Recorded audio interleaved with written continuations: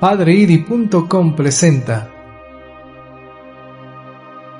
Un faro en el horizonte. Historias de un santo. 23 de septiembre. Padre Pío de Pietrelcina. En cuanto a mí, Dios me libre de gloriarme si no es en la cruz de nuestro Señor Jesucristo Padre Pío de Pietrelcina, al igual que el apóstol Pablo, puso en la cumbre de su vida y de su apostolado la cruz de su Señor como su fuerza, su sabiduría y su gloria. Inflamado de amor hacia Jesucristo, se conformó a Él por medio de la inmolación de sí mismo por la salvación del mundo.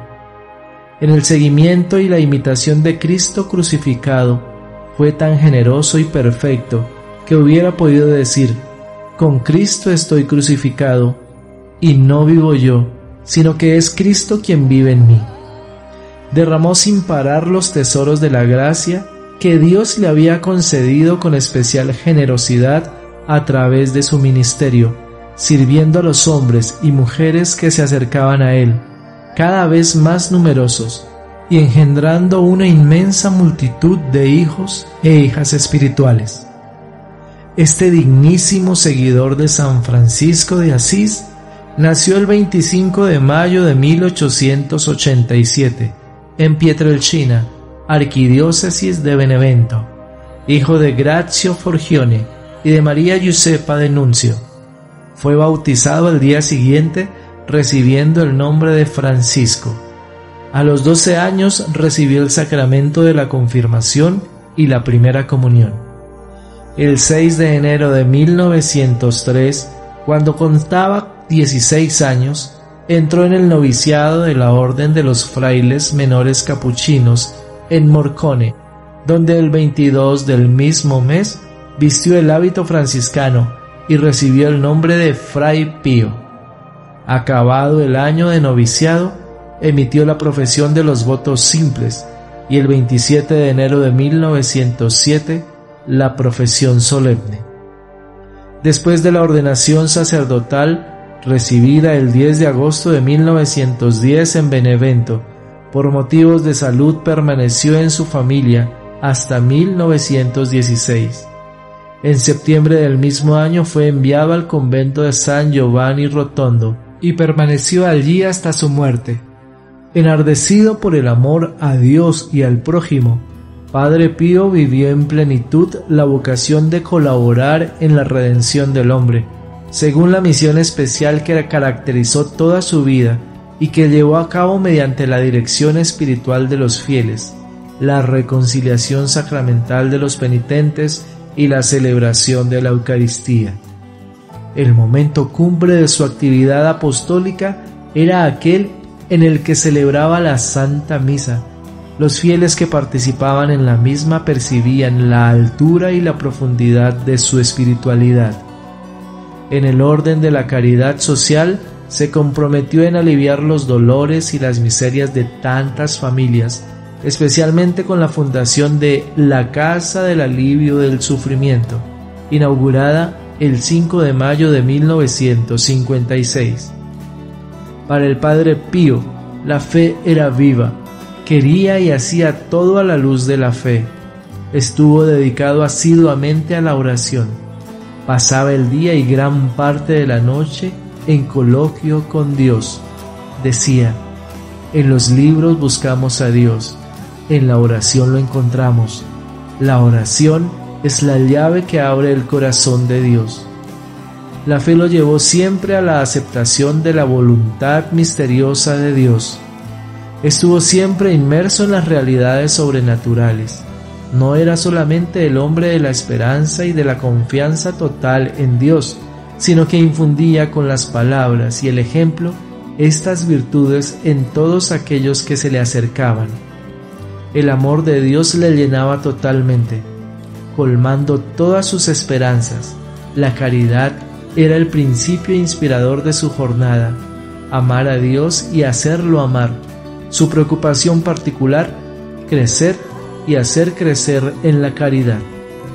expresó el máximo de su caridad hacia el prójimo, acogiendo por más de 50 años a muchísimas personas que acudían a su ministerio y a su confesionario, recibiendo su consejo y su consuelo. Era común el asedio, lo buscaban en la iglesia, en la sacristía y en el convento, y él se daba a todos, haciendo renacer la fe, distribuyendo la gracia y llevando luz, pero especialmente en los pobres, en quienes sufrían y en los enfermos. Él veía la imagen de Cristo y se entregaba especialmente a ellos. Ejerció de modo ejemplar la virtud de la prudencia, obraba y aconsejaba a la luz de Dios. Su preocupación era la gloria de Dios y el bien de las almas.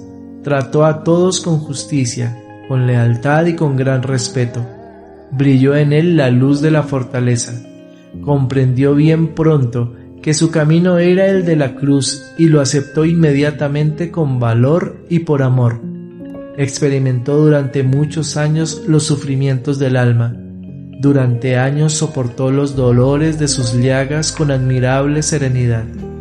Cuando tuvo que sufrir investigaciones y restricciones en su servicio sacerdotal, todo lo aceptó con profunda humildad y resignación. Ante acusaciones injustificadas y calumnias, siempre cayó, confiando en el juicio de Dios, en sus directores espirituales y de la propia conciencia. Recurrió habitualmente a la mortificación para conseguir la virtud de la templanza, de acuerdo con el estilo franciscano. Era templado en la mentalidad y el modo de vivir, consciente de los compromisos adquiridos con la vida consagrada, observó con generosidad los votos profesados, Obedeció en todo las órdenes de sus superiores, incluso cuando eran difíciles. Su obediencia era sobrenatural en la intención, universal en la extensión e integral en su realización. Vivió el espíritu de pobreza con total desprendimiento de sí mismo, de los bienes terrenos, de las comodidades y de los honores. Tuvo siempre una gran predilección por la virtud de la castidad su comportamiento fue modesto en todas partes y con todos. Se consideraba sinceramente útil, indigno de los dones de Dios, lleno de miserias y a la vez de favores divinos. En medio de tanta admiración del mundo repetía, quiero ser solo un pobre fraile que reza. Su salud desde la juventud no fue muy robusta y especialmente en los últimos años de su vida empeoró rápidamente. La hermana muerte lo sorprendió preparado y sereno el 23 de septiembre de 1968 a los 81 años de edad. Sus funerales se caracterizaron por una extraordinaria concurrencia de personas. El 20 de febrero de 1971, apenas tres años después de su muerte, Pablo VI, dirigiéndose a los superiores de la orden capuchina, dijo de él, Mirad qué fama ha tenido, qué clientela mundial ha reunido en torno a sí. Pero, ¿por qué? Tal vez porque era un filósofo, porque era un sabio, porque tenía medios a su disposición, porque celebraba la misa con humildad, confesaba desde la mañana a la noche, y era, es difícil decirlo, un representante visible de las llagas de nuestro Señor. Era un hombre de oración y sufrimiento. Ya durante su vida gozó de notable fama de santidad, debida a sus virtudes, a su espíritu de oración, de sacrificio y de entrega total al bien de las almas. En los años siguientes a su muerte, la fama de santidad y de milagros creció constantemente, llegando a ser un fenómeno eclesial extendido por todo el mundo y en toda clase de personas. De este modo, Dios manifestaba a la Iglesia su voluntad de glorificar en la tierra a su siervo fiel. Existen en el mercado videos de dos vidas de santos. Uno, el Beato Juan 23, y otro, de San Pío de Pietrelcina. La entrada de uno y de otro video nos prepara para dos vidas santas, pero cada una bien diferente. el niño que es Juan 23, todo serenidad, y en la vida del niño que es Pío de Petralchina se anuncia la tragedia, un niño deliciosamente candoroso, espantado huyendo de un perro que le persigue furibundo, presagiando acontecimientos extraordinariamente dolorosos y a la vez dotado de unos carismas impresionantes. El Rottweiler estará presente durante toda la película, denotando la presencia feroz del maligno en la vida entera de aquel hombre elegido, calumniado en su comunidad, en su curia capuchina y en la cúpula más alta de la iglesia.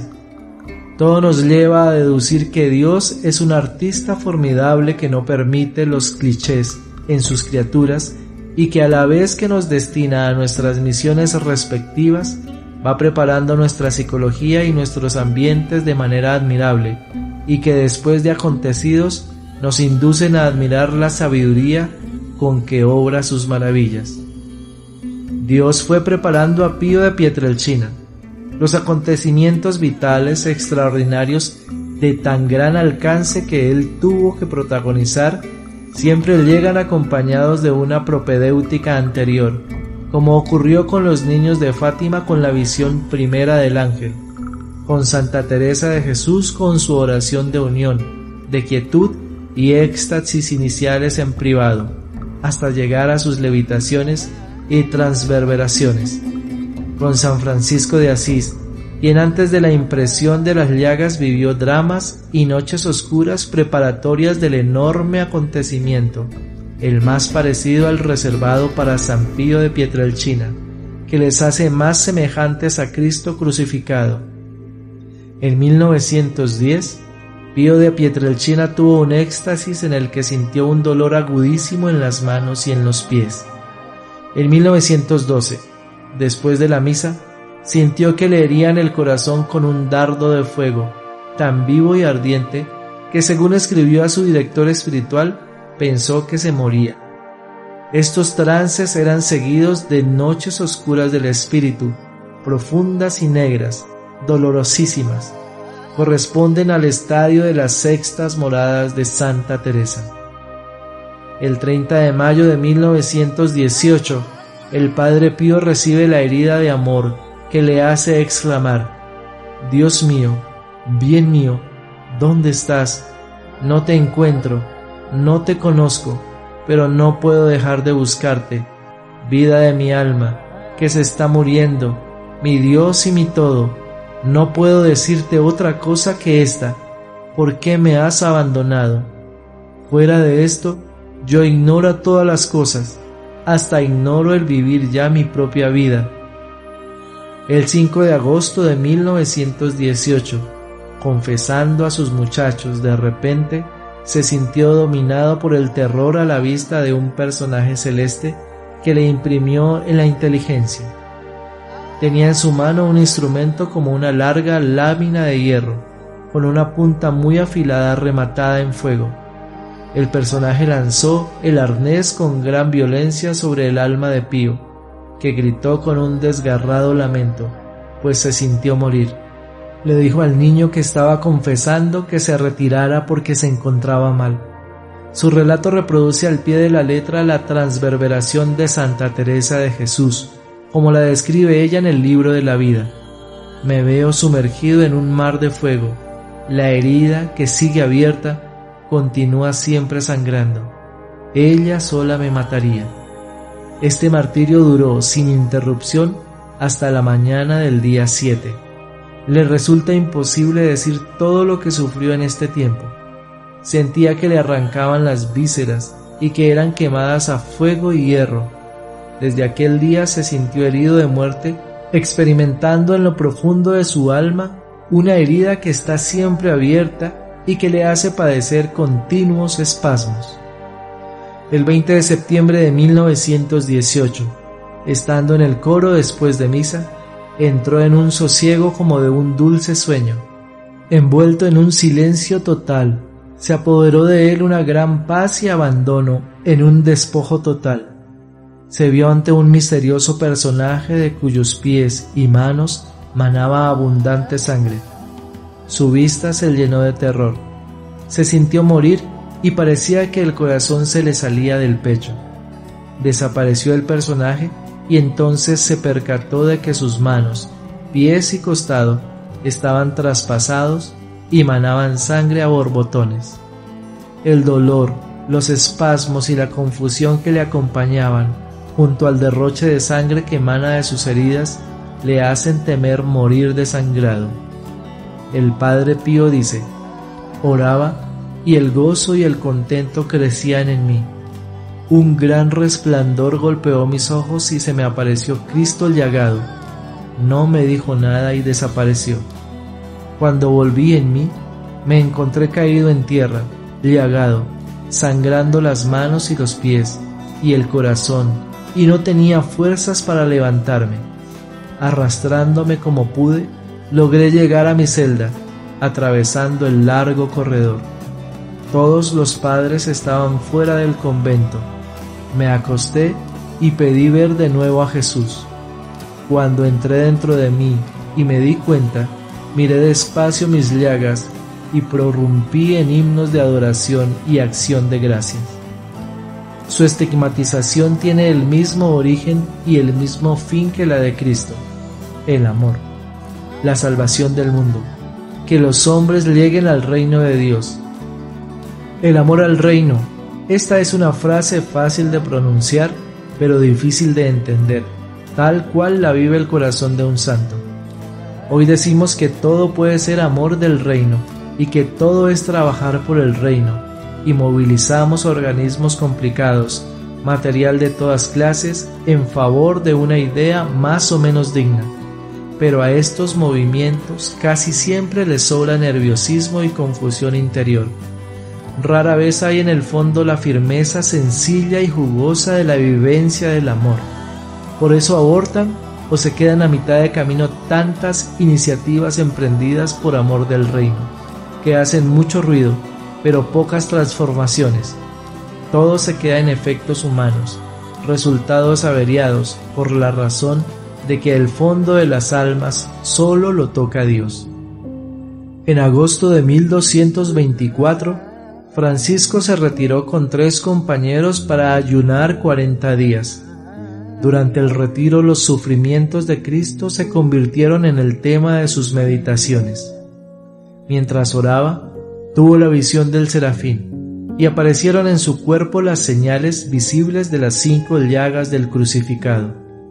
Un día se le apareció un ángel y le dijo, Vengo a confortarte y avisarte para que te prepares con humildad y paciencia a recibir lo que Dios quiere hacer de ti. Estoy preparado para lo que Él quiera, respondió. Por la mañana del 14 de septiembre, fiesta de la Santa Cruz, antes de amanecer, estaba orando de cara a oriente y pedía al Señor experimentar el dolor que sintió a la hora de su pasión, y en la medida de lo posible, aquel amor sin medida que ardía en su pecho, cuando se ofreció para sufrir tanto por nosotros, pecadores, y también que la fuerza dulce y ardiente de su amor arranque de su mente todas las cosas, para que muera por amor a Él, ya que Él se ha dignado morir por amor a mí. De repente vio bajar del cielo un serafín con seis alas. Tenía figura de hombre crucificado. Francisco quedó absorto, sin entender nada, envuelto en la mirada bondadosa de aquel ser que le hacía sentirse alegre y triste a la vez, y mientras se preguntaba la razón de aquel misterio, se le fueron formando en las manos y pies los signos de los clavos, tal como los había visto en el crucificado. No eran llagas o estigmas, sino clavos formados por la carne hinchada por ambos lados y ennegrecida. En el costado se abrió una llaga sangrante que le manchaba la túnica y los calzones. Explicaba Fray León que el fenómeno fue más palpable y real de lo que muchos creen, y que estuvo acompañado de otros signos extraordinarios corroborados por testigos que creyeron ver el monte en llamas, iluminando el contorno como si ya hubiese salido el sol. Algunos pastores de la comarca se asustaron y unos arrieros que dormían se levantaron y aparejaron sus mulas para proseguir su viaje, creyendo que era de día. El hermano León nos ha dejado con la bendición autógrafa del santo, que se conserva en Asís, una narración simple y clara del milagro. Describe el costado derecho del santo como mostrando una herida abierta por una lanza, mientras que sus manos y pies estaban atravesados por clavos negros de carne, cuyas puntas estaban dobladas hacia atrás. Después de recibir los estigmas, Francisco sufrió dolores cada vez mayores en todo su cuerpo frágil, ya de por sí debilitado por la continua mortificación. La diferencia de época, inicios del siglo XIII, creyente, religioso y sacralizado, le ahorrará a Francisco lo que el positivismo racionalista del siglo XX atormentó a Pío de Pietrelcina. Cuando un santo realiza una obra grande, siempre le mueve el amor al reino, unas veces por su elección y características de su personalidad, otras veces por pura y extraordinaria disposición divina en uno y en otro caso, el santo se sitúa allí donde sabe que pasan las almas de los hombres. Las almas y el ambiente van metidos en la carne y son los que desencadenan la acción. Cuando se trae en la carne propia un destino salvador de sí mismo y de los que le rodean, la acción no puede estar pendiente de un suceso extraño que surja de improviso. Pero el gran apostolado, la acción poderosa sobre las almas solo se ejerce desde el amor, amor que es olvido de sí, amor que es caridad de filigrana, amor que es valoración de los demás, amor que es gratitud, generosidad, donación y no búsqueda de medros ni sociales, ni populares, ni eclesiales, amor que no estrepa, que no es buscador de sus alabanzas, y negación de las estimulaciones a los hermanos.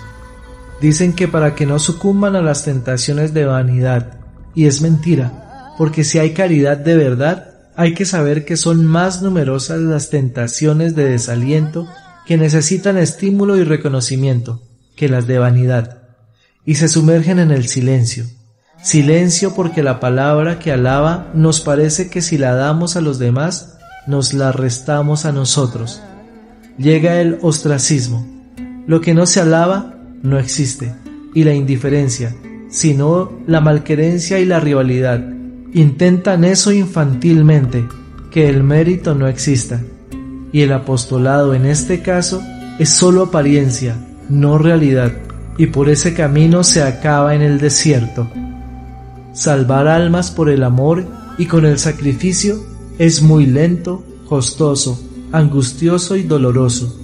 Hay que preparar el instrumento, pulirlo, purificarlo, sanarlo, santificarlo. Solo el instrumento identificado con el agente de la salvación, por la gracia que es Dios, puede hacer las grandes obras de Dios.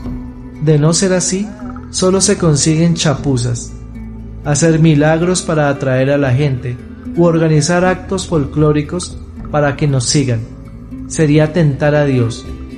Jesús, frente a esta seducción que tanto atraía a sus contemporáneos e incluso a sus discípulos, acepta el plan del Padre, el mesianismo doliente, profetizado por Isaías con los medios humildes y pobres propios del reino de Dios. Es la tentación del exhibicionismo, tan frecuente en los que están empeñados en algún apostolado, manifestarse dispuestos a gestos brillantes y espectaculares, a dejarse llevar en olor a popularidad. Rehuirán todo lo que sea trabajo oscuro, anónimo, abnegado, silencioso, dispuestos a llevar la bandera, pero remisos a cargar con la cruz. El Evangelio no es la promesa de éxitos fáciles, sal o azúcar.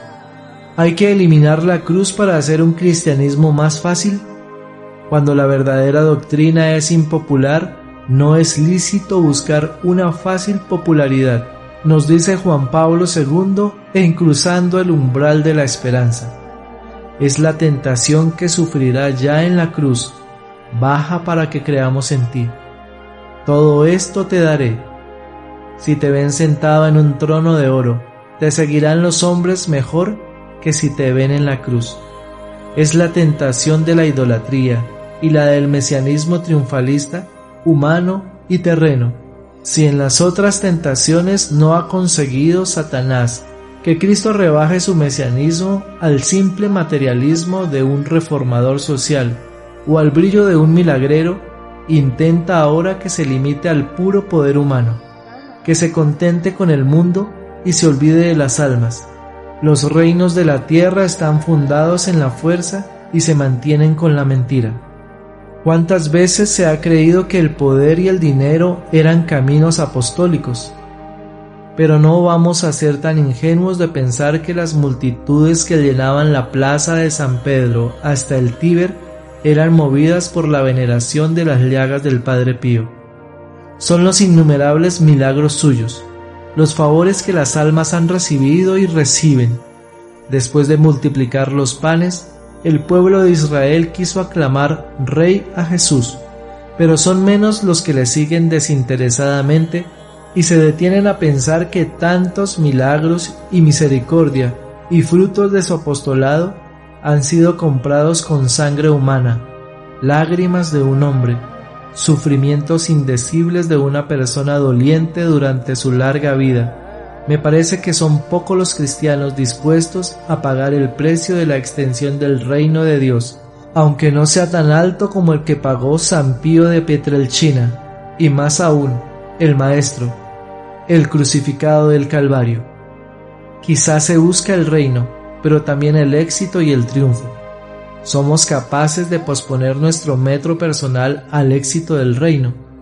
Nos hemos creado un cristianismo fácil y acomodado, y esto ya viene de lejos. Cuando Lutero comienza en el siglo XVI la reforma, lo primero que suprime es el sacrificio de la misa.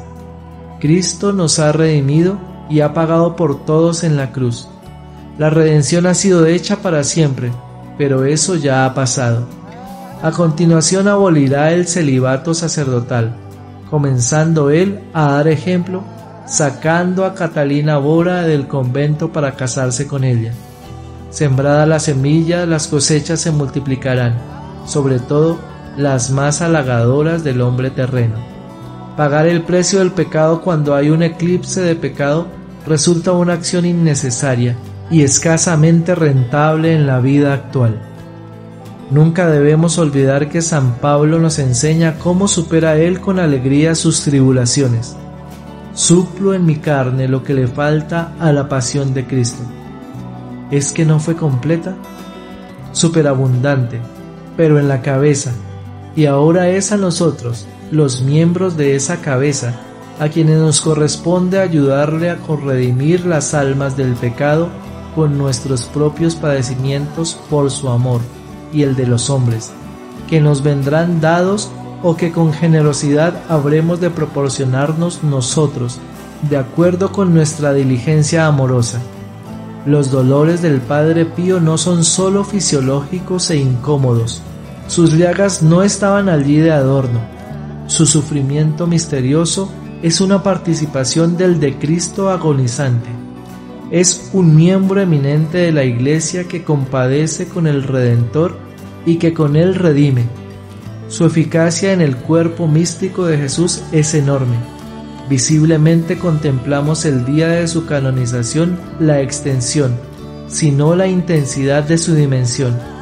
Ejemplar en lección para este mundo nuestro de eficacia y de ejecución, que solo cuenta lo que aparece y lo que se ve y lo que se cuenta el padre Pío de Pietrelchina, el pobre fraile que reza, contempla en su cuerpo lo que le falta a la pasión de Cristo, porque él lleva en su carne las llagas de su Señor Jesús, que se actualiza cada día en la celebración de la Eucaristía. Por eso, Benedicto XVI, en el año dedicado a la Eucaristía, nos invita a meditar en el profundo e indisoluble lazo que une la celebración eucarística con el misterio de la cruz. Cada misa actualiza el sacrificio redentor de Cristo. Al Gólgota y a la hora de la muerte en la cruz, según la encíclica Eclesia de Eucaristía, vuelve espiritualmente todo presbítero que celebra la Santa Misa, junto con la comunidad cristiana que participa en ella. La Eucaristía es el memorial de todo el misterio pascual, pasión, muerte, descenso a los infiernos, resurrección y ascensión al cielo, y la cruz es la manifestación impactante del acto de amor infinito con el que el Hijo de Dios ha salvado al hombre y al mundo del pecado y de la muerte. Después de la consagración, la asamblea de los fieles, consciente de estar ante la presencia real de Cristo crucificado y resucitado, aclama, anunciamos tu muerte, proclamamos tu resurrección, ven Señor Jesús. Con los ojos de la fe, la comunidad reconoce a Jesús vivo con los signos de su pasión y junto a Tomás, llena de maravilla, puede repetir, Señor mío y Dios mío. La Eucaristía es misterio de muerte y de gloria como la cruz, que no es un incidente en el camino, sino el pasaje por el que Cristo entró en su gloria y reconcilió a la humanidad entera, derrotando toda enemistad. Por este motivo, la liturgia nos invita a implorar con esperanza confiada, Quédate con nosotros, Señor, que por tu santa cruz has redimido al mundo. La mayor caridad es arrancar almas atraídas por Satanás y ganarlas para Cristo. Nadie mejor que María nos puede enseñar a comprender y a vivir con fe y amor la Santa Misa, uniéndonos al sacrificio redentor de Cristo. Cuando recibimos la comunión como María y unidos a ella, nos abrazamos al madero de Jesús que con su amor ha transformado en un instrumento de salvación y pronunciamos nuestro amén, nuestro sí al amor crucificado y resucitado. Siempre eran impresionantes las misas del Padre Pío. Duraban hasta tres o cuatro horas y la jerarquía hubo de intervenir para ponerle límite, que él con gracia respondió que en el Calvario no había relojes, sus lágrimas y sollozos eran constantes, como lo fueron los del cura de Ars y los de San Ignacio de Loyola. Hoy cualquier neurólogo o psiquiatra diagnosticaría depresión, neurastenia o psicopatía. Pero como María estuvo en el Calvario ante su Hijo crucificado y agonizante, está también llorosa con la Iglesia y como Madre de la Iglesia en nuestras celebraciones eucarísticas. A pesar de que el doctor Fiesta publica en el libro Entre los misterios de la ciencia y las luces de la fe, el carácter sobrenatural de los estigmas del Padre Pío, el Papa Benedicto XV y el Santo Oficio envían a San Giovanni Rotondo observadores de confianza. El 20 de marzo de 1920 llega por orden del Papa el arzobispo de Simla, Anselmo Eduardo Kenali, desconfiado de las manifestaciones místicas. Al término de la vista, escribe, He venido, he visto y he sido vencido. En San Giovanni Rotondo tenemos un verdadero santo, privilegiado por Dios con las cinco llagas de la pasión y con otros regalos que leemos en la vida de los grandes santos no hay la mínima afectación en el comportamiento o en la conversación del Padre Pío. Es observante y laborioso. Recibe grandes regalos de Dios, sabe sufrir y también sabe sonreír. Sobre el estigmatizado se acumulan las nubes de la gran prueba. Satanás se prepara a desencadenar un violento ataque sobre el débil, enfermo, doliente Padre Pío el 18 de abril de 1920 llega a San Giovanni Rotondo el padre Agustín Gemelli, fraile franciscano, médico, psicólogo, científico de fama mundial que ha fundado en Milán la Universidad del Sagrado Corazón. Se encuentra con el Padre Pío y recibe una favorable impresión y escribe. Cada día constatamos que el árbol franciscano da nuevos frutos y esto es el consuelo más grande para quien se alimenta y vive de este maravilloso árbol. Pero su actitud cambia cuando no le dejan ver y examinar como médico los estigmas del Padre Pío sin un permiso del Papa. Decepcionado e irritado, vierte afirmaciones imprudentes en una publicación sobre los estigmas de San Francisco, sobre el fraile estigmatizado de Pietrelcina y manifiesta juicios discutibles sobre él, asusando durante años disputas, polémicas, juicios superficiales, incredulidad y escepticismo sobre sus estigmas, sus fenómenos de bilocación, el perfume de violeta, de rosas y otras flores que le acompañan. Con las intervenciones del padre Gemelli, la actitud de las autoridades eclesiásticas empieza a cambiar hacia el padre Pío. En enero de 1922 muere el papa y le sucede a Chilrati, Pío XI, milanés, amigo del padre Gemelli. Fue tal la prueba que el padre Pío confiesa, estoy extremadamente amargado y si Jesús no viene pronto en mi ayuda, veo que tendré que sucumbir bajo la prueba. Desde el 31 de mayo de 1923 hasta el 16 de julio de 1933, el Padre Pío permanece con intermitencias suspendido por el Santo Oficio, a pesar de que el Papa Pío XI, ante la extrañeza de su bilocación ante él, pues mientras hablaba con algunos cardenales y prelados sobre la decisión de suspenderle la divinis, entró de repente en el estudio del Papa un fraile capuchino.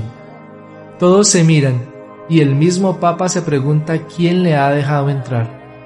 El fraile se acerca al pontífice, se arrodilla, le besa el pie y le dice, Santidad, por el bien de la iglesia, no permita esto.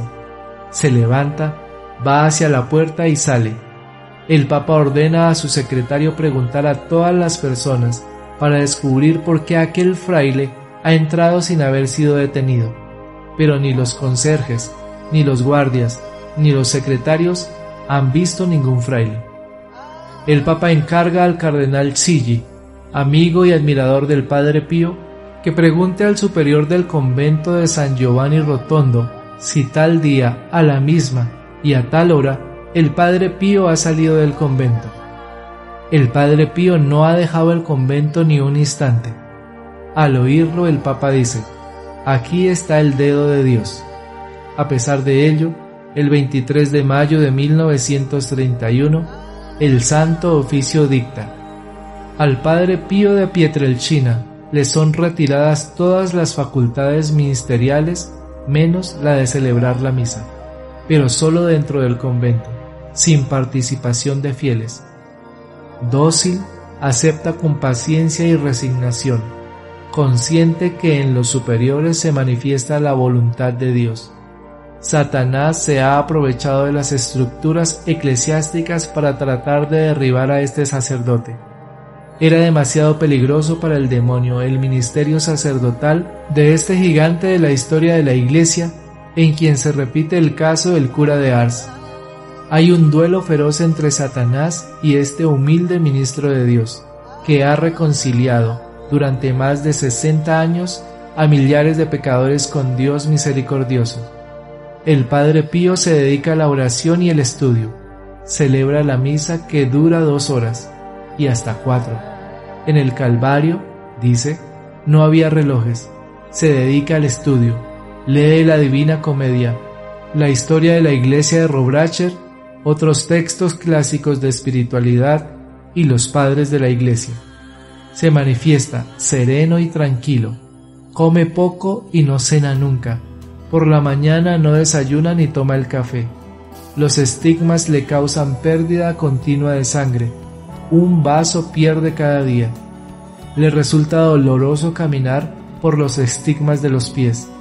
Le ven en el coro rezar y que a menudo se seca las lágrimas la figura dulce y tierna de su hija espiritual predilecta, Cleonice Morcaldi, que renunció al matrimonio dirigida por el Padre Pío a la santidad, es su consuelo durante el periodo del castigo del Padre Pío.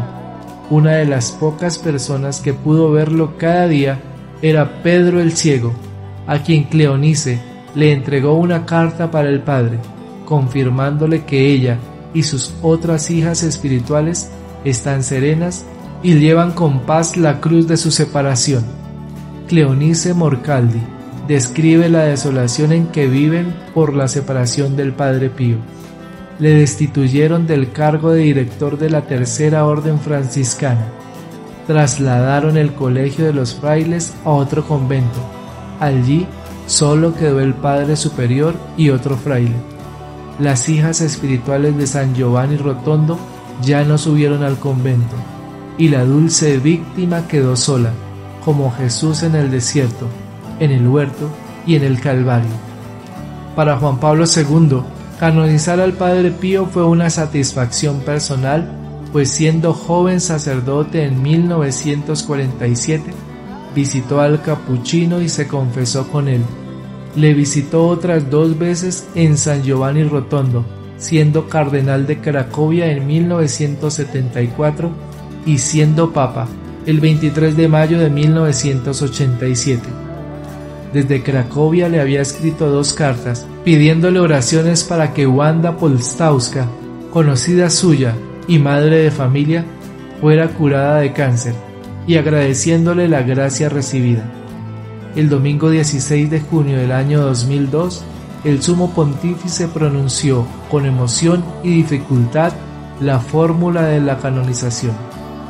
Declaramos y definimos que el beato Pío de Pietrelcina es santo y le inscribimos en el catálogo de los santos. Su fiesta será celebrada en toda la Iglesia Universal el 23 de septiembre, fecha de su fallecimiento o nacimiento para el cielo. Pero no vamos a ser tan ingenuos de pensar que las multitudes que llenaban la plaza de San Pedro hasta el Tíber lo hacían movidas por la veneración de las llagas del Padre Pío. Eran los innumerables milagros suyos, los favores que almas habían recibido y reciben. Insisto, cala el pensamiento de que tantos milagros y misericordia y frutos de su apostolado han sido comprados con sangre humana, lágrimas de un hombre, sufrimientos indecibles de una persona doliente durante su larga vida. Estamos los cristianos dispuestos a pagar el precio de la extensión del reino de Dios, aunque no sea tan alto como el que pagó San Pío de Pietrelcina, y más aún, el Maestro, el crucificado del Calvario. O por el contrario, buscamos el reino, pero también nuestro éxito y nuestro triunfo. ¿Somos capaces de posponer nuestro medro personal al éxito del reino? De todas formas, su apoteosis fue un plebiscito de cariño al que tanto debían y de cuyo dolor sigue viviendo la iglesia que tiene una cabeza coronada de espinas y el corazón roto y sus miembros dolientes tratando de hacerse cada vez más conscientes por el estudio y la formulación de su deber de suplir en su carne lo que le falta a la pasión de Cristo. Gloria al Padre y al Hijo y al Espíritu Santo, como era en el principio, ahora y siempre, por los siglos de los siglos. Amén. Señor nos bendiga, nos guarde de todo mal y nos lleve a la eternidad. Amén. Feliz y bendecido día, la Virgen me los acompañe hoy y siempre.